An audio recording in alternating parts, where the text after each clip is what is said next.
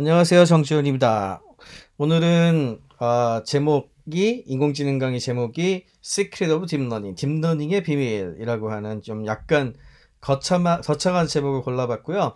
음, 너무 이제 interpretability 강의가 길어져가지고 그것만 계속하면 좀 재미가 없잖아요. 그래서 중간중간에 이렇게 어, 좀 흥미로운 주제들을 한두 개씩 끼워 넣어서 어, 좀 하도록 하겠습니다.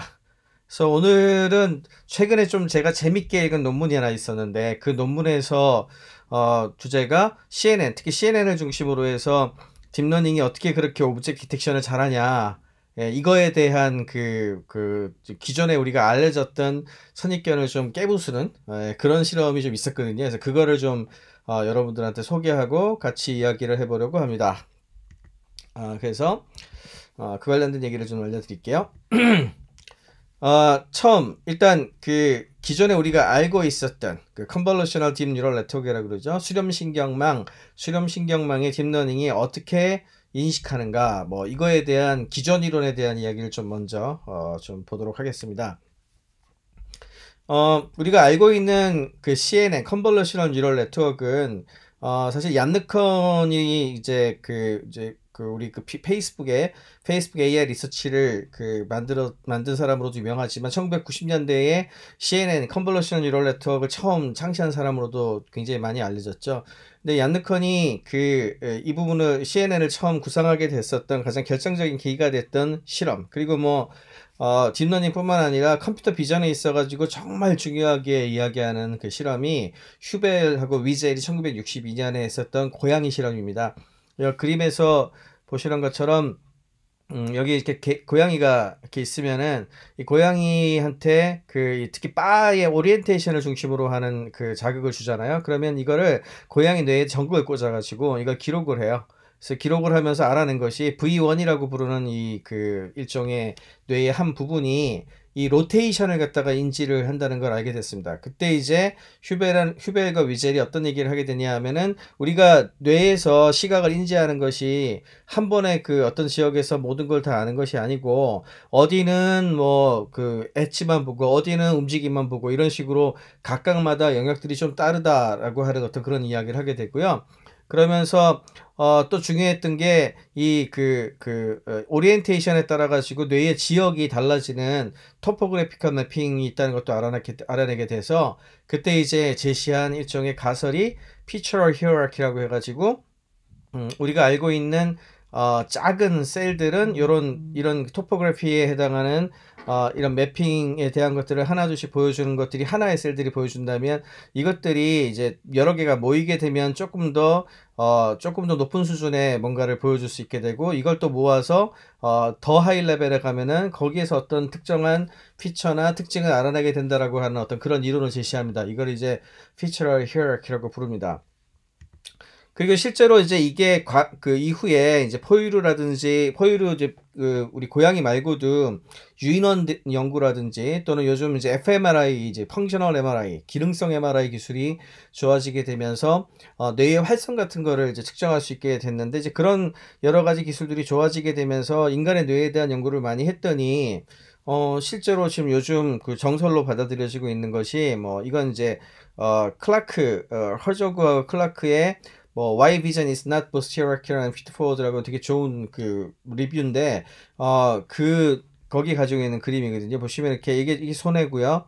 그다음에 여기 V1이라고 하는 데가 이제 우리 어, 뇌 뒤쪽에 그 가장 이게 우리가 이게 시각 중추라고 그러는데 시각 중추의 그 가장 끝 부분이고요. 여기에 엣지 그러니까 뭐 끝에 그 윤곽하고 라인 같은 거 detection을 하고 V1, V2, V4 이렇게 넘어가면서 어, 점점 점점 더 구체화돼 여기 이제 보시면 V1은 visual field가 이렇게 조그맣게 돼 있어서 edge하고 라인 같은 거를 보통 보게, 보게 되고 V2에 가면 이게 모여져서 이렇게 뭐 예를 들어 사각형이라든지 삼각형이라든지 조금 더 높은 수준의 그 도형 이런 것들이 모여져 가지고 firing이 일어나고 이게 또 모여서 V4쯤 가면 이렇게 어, object가 되고 뭐 여기 이제 IT에 가게 되면은 이렇게 얼굴을 인식한다든지 뭐 이런 식으로 receptive field가 우리가 인식 인식하는 field의 크기가 점점 커지면서 전체를 인지하는 그런 그 계층적 구조를 가졌다. 이런 거를 어, 정설로 받아들이게 되죠. 그리고 convolutional neural network도 그래서 이걸 기반으로 해서 사실은 디자인을 했었기 때문에 convolutional neural network 우리 그 딥러닝에 어, 지금 혁명적인 변화를 끌고 왔다는 이 기술을 가만히 보시면은 어, 이렇게 사진에 사진의 특정한 field field를 어, 묶어가지고 계산을 해서 특정 지역으로 어, 계산을 하는 거를 하게 되죠. 그래서 이거 이걸 묶은 것들을 다시 한번 이 그림에다가 계산을 해가지고 그려내게 되고 그 다음에 pooling이라고 해가지고 이제 field가 넓으니까 이거 세 개짜리를 하나로 하기도 하고 뭐 요즘에는 그냥 1대1로도 많이 하는데요. 뭐 이렇게 해서 layer를 깊게 합니다. 하이퍼 파노이트 늘리기 위해서. 그럼 이거를 또 한번 convolution을 계산을 하고 여기 이제 ReLU라고 하는 뭐 오늘 CNN 강의는 아니기 때문에 음, activation function이나 이런 거에 대한 얘기는 안 하겠지만 하여튼 이렇게 convolution 계산을 하고 pooling을 하고 convolution 계산을 하고 pooling을 하고 이거 이제 반복을 하죠. 반복을 해서 layer를 깊게 만든 다음에 여기까지가 이제 feature를 뽑아내는 단계라면 나, 나중에 이제 fully connected layer라 그래가지고 쭉 연결할 수 있는 layer를 만들어 가지고 이렇게 쭉 계산해서 뽑아낸 다음에 여기에서 이제 우리가 뽑으려고 하는 어, 결론, 뭐 개냐, 고양이냐, 뭐 보트냐 이런 것들을 이제 분류하도록 하는 softmax function을 많이 쓰는데요. 뭐 그렇게 해가지고 뽑아냅니다. 이게 이제 우리 흔히 얘기하는 CNN 딥러닝의 구조가 뭐 기본적으로는 다 조금씩은 다르지만 이렇게 생겼습니다. 이렇게 생겼어요. 그래서 어, 지금까지 알려지기로는 아, 이게 굉장히 결과가 잘 나온다. error도 적게 나고, 뭐, 구별하라 그러면 인간보다 더 잘해. 뭐, 이것까지 잘 나온다는 거는, 어, 여러분들도 많이 들으셨잖아요. 근데 도대체 얘가 왜 이렇게 잘 될까? 이런 거에 대한 그 이론이 되게 많았었는데, 이거에 대한 이제 해답을 일부 제시한 게 2013년에, 음, 박사과정 학생이었던 친구인데, 자일러라고 하는 친구가, 어, 그, decon, deconvolutional network를 어, 2011년 정도부터 계속 이거 관련된 걸 했었는데 2013년에 이민시네 챌린지에 들어왔었던 그 network들을 대상으로 해서 어떤 feature를 보여주는가를 그 deconvolutional network이란 걸 이용을 해가지고 시각적으로 보여줍니다. 그 뭐 내용을 보면은 여기가 이제 우리 흔히 얘기하는 그 CNN 구조잖아요. 보면은 이제 아래쪽에 더 낮은 layer에서 어 그 데이터가 넘어오면 필터를 걸고 feature map을 뽑은 다음에 아, 그 다음에 여기에서 뭐, 아, ReLU 같은 거 어, 해가지고 이제 activation function을 해가지고 이게 convolution이 이루어진 거고 여기에서 이제 그 activation function으로 비선형으로 계산을 한 거고 그 다음에 pooling을 여기서 max pooling을 했는데 pooling을 해가지고 필드를 줄이죠. 그 다음에 여기를 다시 어 그 이 feature map이 들어가고 뭐 ReLU가 들어가고 이렇게 쭉 올라가는 거거든요. 이게 한 layer죠 여기가. 이 한 layer를 반대로 돌려요. 스위치를 하게 되면은 여기가 이제 스위치라고 하는 max location 정보를 어, 어디가 제일 큰 값이었는지 정보를 기록을 해뒀다가 이거를 이용을 해가지고 스위치를 하게 되면 위에 만들어진 거를 바탕으로 풀어낼 수가 있습니다. 마치 이렇게 쪼개 이렇게 그 수렴을 시켰다면 반대로 풀어내는 거죠. 풀어내려면 이제 반대로 어, max를 더 필드를 늘려가지고 unpooling 그림에 보이듯이 이렇게 unpooling을 하고요. 그 다음에 반대로 이제 ReLU, 어, ReLU를 반대로 계산해 가지고 transpose 계산을 해 가지고 풀어내고 그 다음에 필터도 반대로 적용을 해요. 그러면은 당연하게도 어, 이 그림에서 보시면 이렇게 생겼던 이, 이게 이렇게 줄어들어서 여기 네 개가 max pooling이 돼가지고 이렇게 보여줘서가 요 계산이 됐던 건데 얘를 반대로 unpooling을 해가지고 넓게 만드는 거죠. 이렇게 해서 각각의 layer가 찾아낸 어떤 그림이랄까요? 그걸 그려내게 했어요. 그랬더니 이렇게 layer 1에서는 주로 선형이죠. 이렇게 라인이나 뭐 간단한 패턴 같은 것들이 주로 어, 튀어나오고 layer 2에서는 여기 보면 패턴이 동그라미 뭐 세모 뭐 네모 이런 스타 같은 형식 이런 것들이 나오고 layer 3에서는 여기 보면 이렇게 뭐 뭐 이게 벌통 같은 모양이라든지 조금 복잡한 패턴이 나오고 layer 4 넘어가니까 얼굴이라든지 좀 덩어리가 큰 게 나오기 시작을 하잖아요. 딱 이 그 visualization 그림이 진짜 우리가 여기 이제 그 hierarchy 얘기했었던 거랑 너무 똑같지 않습니까? 그러니까 우리가 알고 있는 그 shape 모양 모양들이 edge부터 시작을 해서 점점 점점 구체화된 것들로 나가는 그 구조가 너무 이렇게 잘 어, 나타나니까 이게 정설이 됐어요. 그러니까 우리가 알고 있는 딥러닝은 어, 잘은 모르겠지만 layer가 이제 깊어지면 깊어질수록 어, 그 밑에 있는 layer들은 주로 어, 원시적인 모양 같은 것들을 detection을 하고 그 다음에 중간 layer에서는 그보다 조금 복잡한 거, 그 위엔 쪽 그보다 조금 복잡한 거 이렇게 보다 복잡한 모양들을 인식할 수 있는 구조를 가지고 있고 그것 때문에 그걸 가지고서 개다 고양이다 하는 전체적인 것들을 구별할 수 있다. 이게 이제 우리가 흔히 알고 있는 그 CNN 특히 이제 딥러닝이 어 이렇게 잘하는 이유라고 얘기를 하는 겁니다. 이게 비밀이라고 그랬죠. 그래서 이걸 이제 정리를 해서 2015년에 니콜러스 이제 크리게스콜케, 콜테라고 하는 친구가 이렇게 정리를 했고 어 이게 review article이 있습니다. 네트워크가 어, 우리가 알고 있는 뭐 각각의 카테고리별로 카테고리의 그 다양한 형태의 모양들에 대한 지식들을 복잡하게 얻어낸 다음에 그 중에서 특히 high level unit, 윗 레벨에 있는 유닛 같은 경우에는 우리가 알고 있는 특정한 형태의 대표되어 있는 representation을 이제 학습을 하게 된다. 예를 들면 face라든지 뭐 body라든지 이런 걸 알게 된다. 이제 이런 식으로 정리를 해서 이야기를 했고 이게 이제 뭐 우리가 흔히 얘기하는 어, 딥러닝이 왜 이렇게 잘하는가 할 때 이걸 이걸 제일 많이 보여줍니다. 근데 이번에 이제 그 이거 이런 이론에 대해서 이걸 이제 shape hypothesis라 그러거든요. 어, 형태 가설이죠. 형태 가설, 그러니까 뭐 원시적인 형태에서부터 복잡한 형태로 지, 그 진행하면서 알게 된다라고 하는 거에 대해서 아니다. 그거보다 텍스처가 더 중요해라고 하는 굉장히 중요한 그 실험을 하게 되는 논문이 나왔어요. 이제 예를 들어 이제 이런 거죠. 예, 이게 사실 이미지넷에 있는 그림은 아닌데 이제 어, style transfer를 이용해 가지고 만든 건데요. 여튼 보시면 이게 고양입니까 코끼리입니까? 예, 잘 보면 형태는 고양이의 형태를 띠고 있는데 예, 이 텍스처 텍스처는 이게 피부는 코끼리 피부랑 되게 비슷하게 생겼죠. 그래서 이거를 어, 우리가 알고 있는 어, 가장 유명한 그 학습된 그 네트워크에다가 CNN 뭐, 뭐 VGG라든지 이런 데다 집어넣어서 답을 구하면은요. 인간들은 cat이라고 부르고 예, 이거는 이건 고양이지 이렇게 분류를 하고요.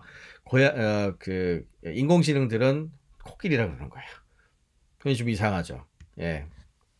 그래서 이와 관련된 것들을 그, 음, 그, 그 문제 제기를 한 건데 어, 어떻게 했냐면은 어, 우리 style transfer라고 하는 기술이 나오게 되죠. 이게 이제 그 Gatys가 2016년에 발표를 하면서 아주 뭐 sensational 했죠. 특히 요 어, 고흐 스타일을 갖다가 인식을 해가지고 거의 모든 사진 같은 걸 고흐 스타일로 바꿔버리는 이런 이런 것 때문에 굉장히 유명해졌는데 이제 이게 그 수식인데요. 오늘 오늘은 뭐 어, neuro 어, neural style transfer 관련된 강의를 하는 건 아니니까 뭐 이런 기술이 뭐 나왔다 뭐 이 정도만 어, 이야기를 하죠. 그렇게 해서 어, 심지어는 이제 상용으로 쓸 수 있는 서비스도 나왔습니다. 이제 웹에서 여러분들도 가가지고 해보실 때 재밌어요.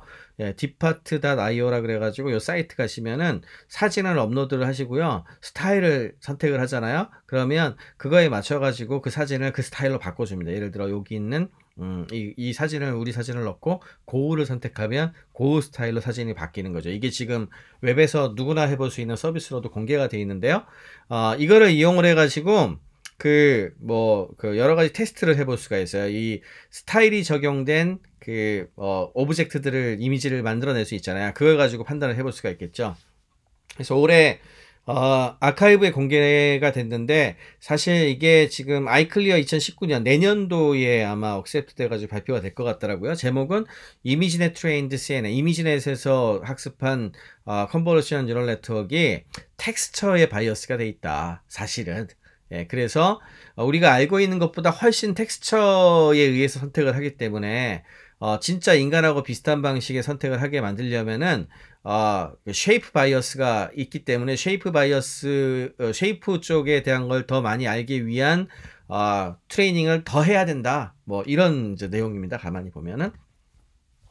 그래서 이제 대표적으로 이제 어, 이렇게 이 아까 전에 보여드린 그 이미지를 texture style transfer를 해가지고 고양이 사진을 넣게 되면 요런 게 나올, 나올 거 아닙니까? 요런 그림이. 그럼 요거를 가지고 이제 그 뭔지 구별을 하게 해보면은, 어, 텍스처 이걸 넣으면 당연하게도 사람들도 그 다음에 컴퓨터 인공지능도 다 Indian elephant 그, 그 코끼리라고 하죠. 이거는 누구도 사람도 인공지능도 다 cat이라고 하는데 이거 같은 경우에는 인공지능은 어, elephant로 어, 하더라. 의외로 여기 보시면 후보에 cat이 없죠.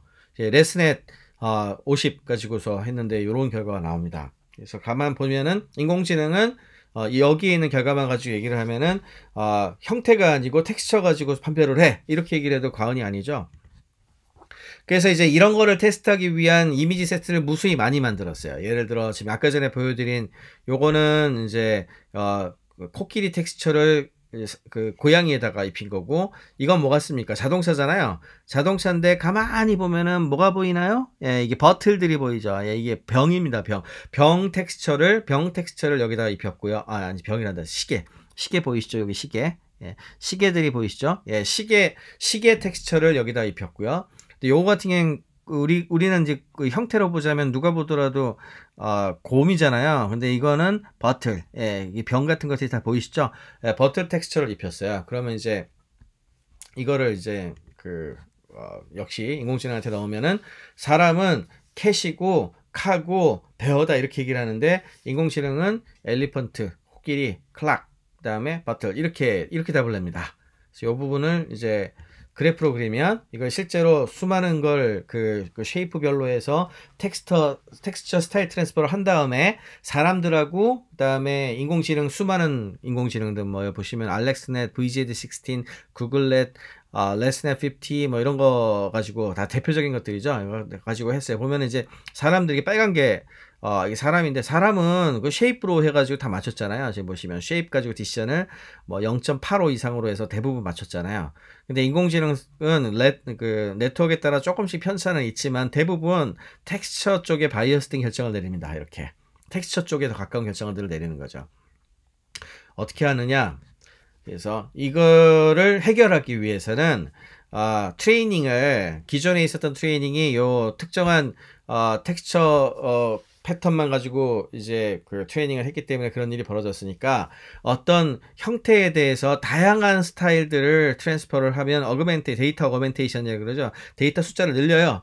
그렇게 해서 이것들을 늘려서 트레이닝을 하게 되면 얘네들에 대해서 labeling은 당연하게도 shape에 가깝게 이제 그 label을 해서 학습을 시키게 되면은 서로 다른 텍스처에 대한 부분들에 대한 그 이렇게 overfitting이 돼 있던 것들을 좀 중화를 할 수 있겠죠. 그걸 날리는 거예요. 그 날려서 어, 보여줄 수 있도록 하는 건데 이런 거를 이제 그 Stylized ImageNet이라고 해서 이런 ImageNet 세트를 따로 만들었고요. SIN이라고 해서 네, 그 다음에 어, 이거를 만들 때 어, AdaIN이라고 하는 style transfer 기술을 이용을 했는데 이건 넘어가고 하여튼 요거를 이용을 해서 다시 어, 학습을 한 다음에 이제 테스트를 다시 해봤어요. 그랬더니 아, 이렇게 됩니다. 지금 보시면은 이게 빨간 게 인간이고요. 여, 여, 이게 이게 이제 기존의 텍스처 기반으로 해서 어 이제 결정이 되는 그 되게 많이 틀린 거죠. 그리고 요 노란색으로 돼 있는 게 아까 말씀드린 stylized입니다. SIN이라고 하는 걸 이용을 해가지고 트레이닝을 했더니 어 훨씬 더 shape 쪽으로 많이 붙어가지고 인간하고 비슷하게 결론을 내리기 시작을 했죠. 그래서 어 텍스처 기반으로 돼 있는 부분들을 어, 잡을 수 있다라고 하는 그 결론을 이제 내리게 된 거죠. 여기까지가 이제 오늘 그 강의의 내용이고요. 어, 그러니까 우리가 알고 있는 딥러닝이 어떻게 이렇게 그 잘 아느냐 이거에 대해서는 나중에도 또 한 번 다룰 기회가 있을 거면 generalization 어, 이슈라고 하기도 하죠. 그러니까 overfitting이냐 이거 다 외워서 그런 거냐 아니면 이거를 너무 많이 외우게 되면 안 되니까 거기에 dropout을 넣자 이런 것도 있었고 굉장히 이제 우리 어, 딥러닝이 왜 이렇게 잘 detection을 하는가에 대해서는 정말 중요한 scientific한 연구 주제거든요. 과학적 연구 주제인데 그거에 대해서 지금까지 우리가 몇 년 동안 믿어왔었던 거에 비해서 훨씬 더 고주파된 대역의 스타일이나 뭐 텍스처 같은 것들이 굉장히 중요한 역할을 했다는 것을 잘 밝혀준 연구라서 굉장히 흥미로웠고요. 어 그리고 이런 부분들에 대해서 충분히 이해도가 높아져 있어야 이제 새로운 어플리케이션을 개발한다든지 서비스를 만들 때 문제가 생겼을 때 해소할 가능성이 되게 높아지겠죠. 그래서 상당히 중요하고 의미가 있는 연구였다고 생각이 들어서 어, 오늘은 뭐 딥러닝의 비밀이라는 어, 그 주제를 가지고 한번 어, 강의를 만들어 봤습니다.